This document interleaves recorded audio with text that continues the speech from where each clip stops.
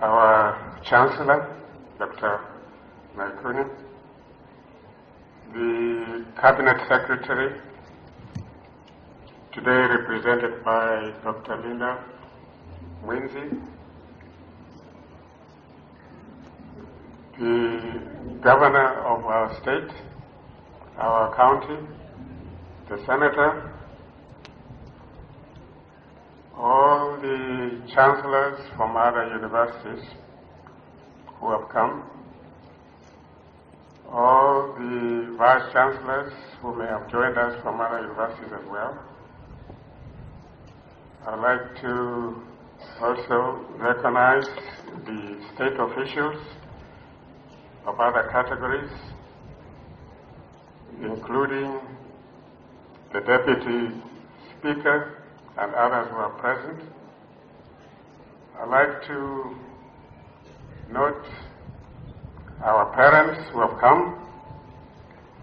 I also like to acknowledge other leaders from academic institutions, particularly those who may have come from far and are visiting us for the first time. I'd like at this point to draw the attention of all to members of our council who are here, and because of the great sacrifice and role they make in determining policy of the university, I'll give a chance for them to stand so that we can recognize them. Members of council, please. I have a couple. I'll not mention each by name. Thank you very much. Uh, welcome. Last of all, uh, most important, I would like also to recognize our students and particularly the graduating class. I'll restrict my remarks to just one or two areas. In the first instance, I want to join the Vice Chancellor in wishing and congratulating the class of 823 or so graduates who have successfully completed their studies. It may not be immediately obvious that uh, it takes it takes lots of effort to reach where you have. One of the contributions to that success is, of course, the Senate and the staff of the university. And we at the council would like to uh, heartedly congratulate both the students and the Senate and the faculty. Our students who are graduating, we know that you have worked hard. It doesn't, it's not easy to accomplish that task that you have. Uh, apart from individual self heart, self effort and work, we know that uh, that success also depends on the availability of facilities at the university. And it is those that I wish to devote my attention as chair of council. We probably may not have an ideal situation. Being a young university, we are struggling. In the past, we have had very generous support from the ministry in terms of financial allocation, and we have been able, with management, to put up a number of academic uh, structures or academically oriented structures, including tuition block and offices, three of them. One of these is just completed, um, what we are calling tuition block two. Eventually, it will be the uh, complex for engineering. This unit has cost about 312 million Kenya shillings to get completed, and there are others. We thank the Ministry of Education for this support. Also, we realize that um, being an institution in the hinterland, far from almost everywhere else, providing accommodation for our students is critical.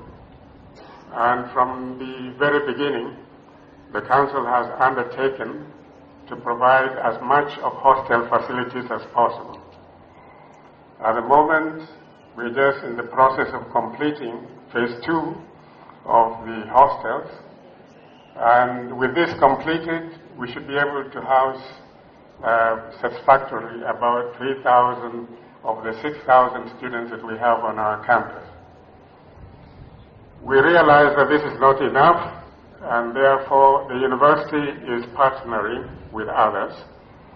The most prominent uh, is the partnership with the private sector, and thanks to the new policy in government that um, encourages this, this university, management and council are in the process of concluding uh, arrangements where new hostels will be constructed with a private partner.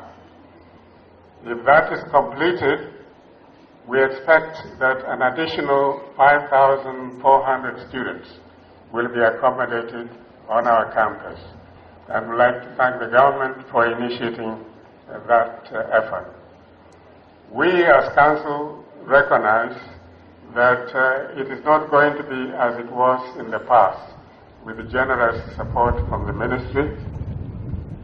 We have therefore, uh, um, in the process, approved with the support or with the initiative of management a resource mobilization policy that will allow us to tap and bring in support from elsewhere.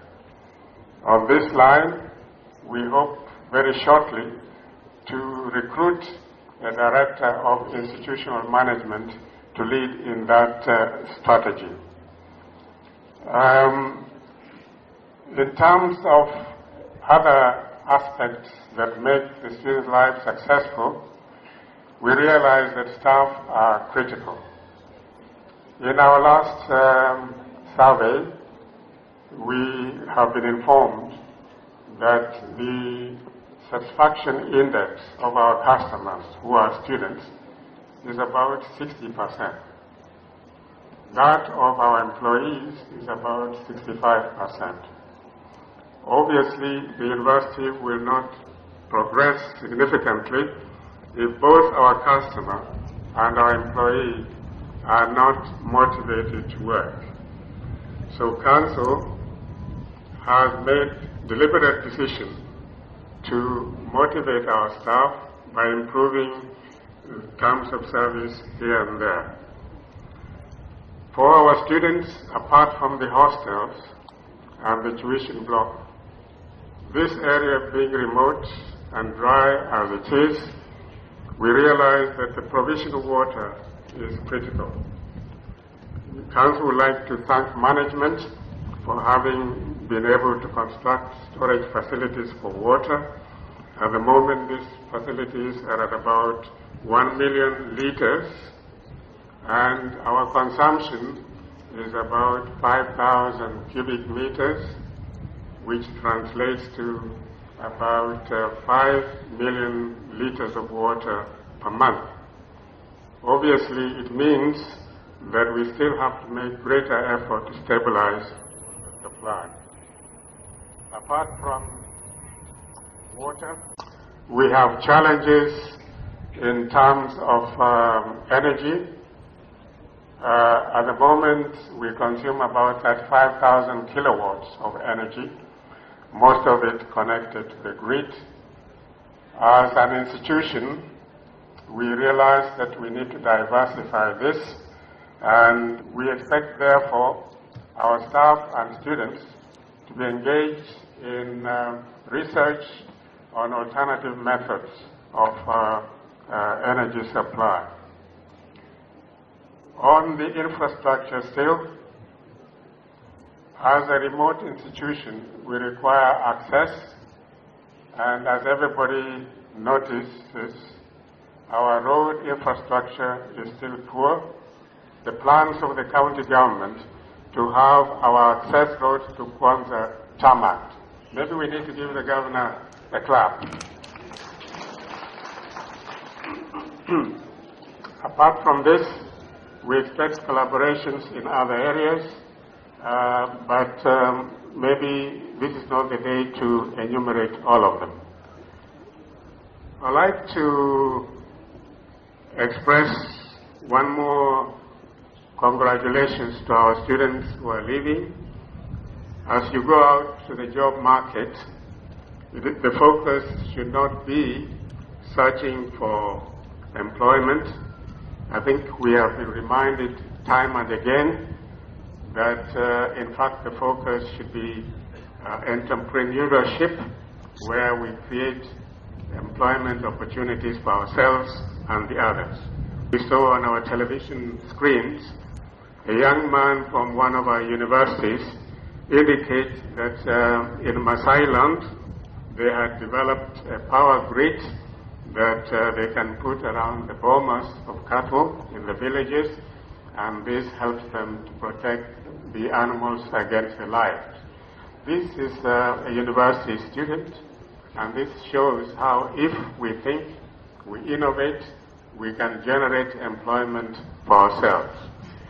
I'm also reminded only yesterday or today, I was reading in the papers that there is a plant called Mukombero. I don't know whether you know that one. I come from Western, and this uh, plant is a shrub, uh, a vinegar shrub, uh, that is known for enhancement of potency in males. The reason I'm bringing it up is that a group of students and others from the Kakamega forest have found alternative use of this uh, plant. Uh, apart from virility, it is now known that it can help to uh, treat diabetes, lower blood pressure, and improve uh, the quality of our kidney. This is all people thinking outside the box so that uh, the same items are added value. It is going to be a challenge to you, our students, not just to seek employment, but to generate employment for others. Congratulations from us and the Council.